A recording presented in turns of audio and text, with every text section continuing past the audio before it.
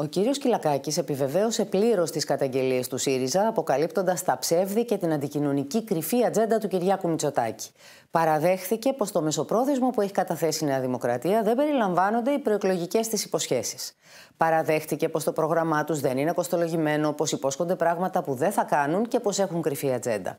Γιατί η αλήθεια είναι ότι οι προεκλογικές δεσμεύσεις του κυρίου Μητσοτάκη είναι όλες κούφιες υπόσχεται πράγματα που δεν θα υλοποιηθούν και κρύβει άλλα ακραία που σχεδιάζει να υλοποιήσει, όπως η διαλογή ασθενών στα νοσοκομεία.